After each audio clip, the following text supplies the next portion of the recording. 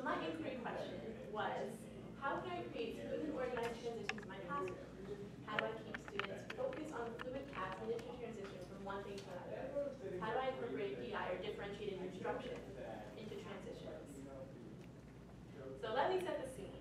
So unlike my other um, two cohort members before me, I taught in elementary schools as the first grader. It's very different to a group of children. Um, I worked at Burr Elementary School in Newton. I had 23 students in my class. Six of them were on IEPs, which means they had individual learning plans, so we had different ways we had to differentiate instruction for them. Six of them were ELL students, which meant they were English language learners, and two of them were METCO students, which meant that they were busing from Boston every morning.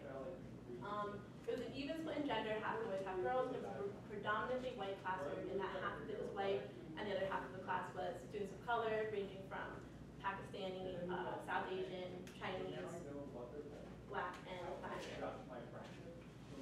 So, my classroom, um, my mentor teacher had been teaching in that classroom for 20 years. She was very confident, very strong. She had a great presence with the students. Um, she really knew how to organize the classroom well, but also make it fun.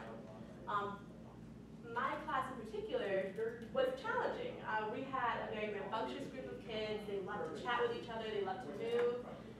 You had to explain things many times in order for them to understand what you were asking them to do. Um, so a lot of a lot of practice, a lot of preparation for these type of kids. Um, so my teacher implemented different techniques to try to help them transition from one thing to another that definitely I want to talk about later and was very helpful. Um, so my teacher made sure that a big cornerstone of our classroom was always respect, fun, and making sure that students were engaged. So what I'm going to focus my research question on is math game cleanup. Is the time in my class. Basically, students will come in from recess twice, three times a week, and we'll be doing math games as a way to engage them in mathematics. So they would come to the rug, my teacher would explain what we were doing in that math game and review it if we already play it, send them off with their partner, and they have about 20 minutes or so to play the game. And then it would be time to clean up. The way that my teacher handled cleanup in the classroom was she would clap and have them clap, stop the game, say the directions for how to clean up, where to put different materials and where to go, and then just say, go. And the students would go off and do it. But not really, because it could take upwards of five minutes for my students to really clean up these math materials, which is a long time if you add it up, and we could be using that time for something more productive than them wandering around and not really knowing what they should be doing. So I knew that something had to be done. There had to be a change in the math transitions in my classroom. But what was I going to do? So one thing that my teacher implemented a lot, which I really enjoyed, I thought was wonderful, is that when we were transitioning from one thing to another, like recess or lunch or whatever it was, she would have beautiful nature videos playing on the screen, calming music throughout the room, and the students would come in, sit on their spot in the rug, and do about 10 big breaths. I thought this was wonderful. It really helped center my students into the next thing we were going to do. So I knew I wanted to keep that. I also wanted to maintain her, she was very good at stating correct directions very clearly. She was very explicit about what she wanted, she stated them clearly, so I wanted to keep that as a cornerstone of my practice. Else, how to improve it? I didn't really know, I had to try some things out. So the first thing I wanted to try was getting students involved, get students engaged with me. So I wanted to try saying the direction and then having them say it back. Having students in particular who had trouble with attention say it back. And then have, and I would say it again and see if this helps. See if repeating the directions help and having students say them. Nope, it didn't help. There was no change in behavior. They were the same, nothing changed. So okay. I wasn't quite ready to give up on having that part of my practice. I still went, okay, let's try something else. Let's add something. So I thought, I'll still repeat directions, and now I'll add a timer. I'll time them. Say, okay, you have one minute to clean up. Here are the directions. I repeat them, you repeat them, this kid repeats them. Now we can go. Nope, still nothing. They didn't change at all. No faster, no better.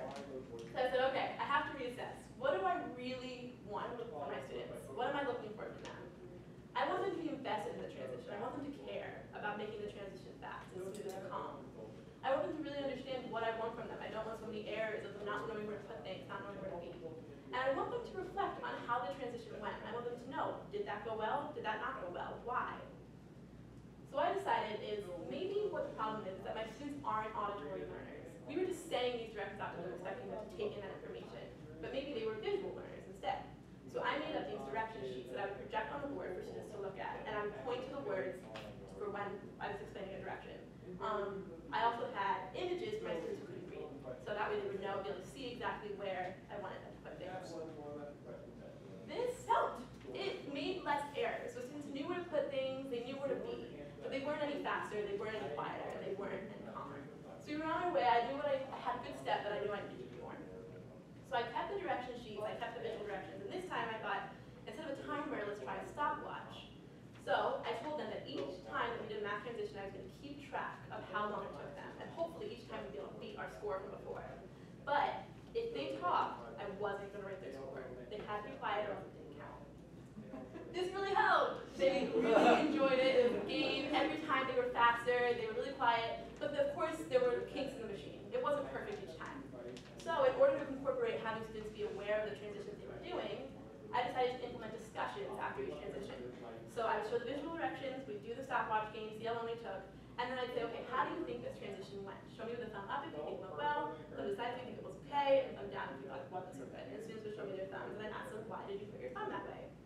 Some students would say, oh, we were really fast, that was really good. And other students might say other things that weren't so positive about that particular transition, and think about strategy we could do together to make.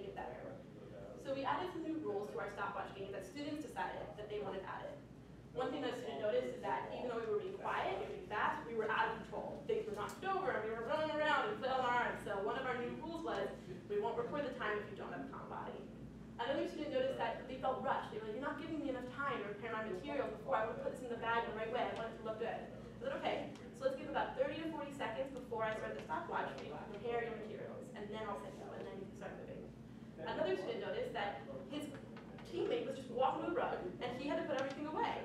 So we have another rule for splitting materials, so that each kid had to take the same amount of materials. And these are all rules that my students came up with themselves, they were noticing from the transitions we were doing. So I did a total of 19 trials with my students, um, and this is about like the theme of how things changed over time and we added things. I was able to get them down to 35 second transitions. It was awesome. They were really quick, really fast. And then we had time afterwards to discuss. And this, the discussions helped build our classroom community. Students felt heard. They felt like what they needed and what they wanted was actually being implemented.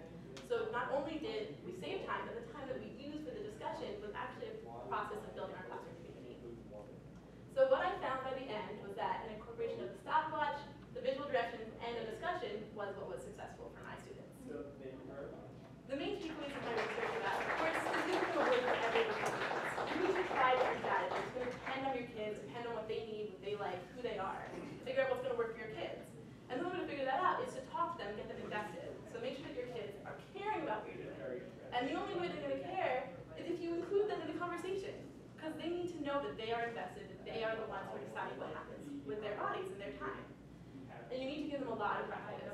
This would not have been successful if I did not give them 19 trials to figure it out and to try different things. So it's really important that I gave them the time and practice to get good at what I wanted them to do.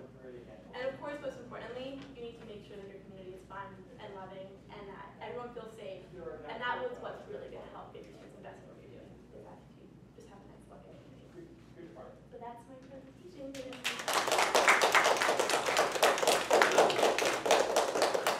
Any questions? Yeah. So, eh, so did we do the trials many times during the day in between activities, or just like every day one trial, and then, eh, like observe and like learn about like how it works and we thinking, Yeah, Good question. Um, so I was in this classroom from, I started doing my research in February and finished it in May. So since we only played math games three times a week, I was only able to do it three times a week and things get messed up. So sometimes you can't like do it a certain day because there was assembly that time or whatever. So it wasn't consistent. It was just whenever we had a math game, this is what we did. Um, and I just reported based off of that. Did you find that as the research progressed, students were taking more personal responsibility in it rather than blaming their partner for not going fast enough?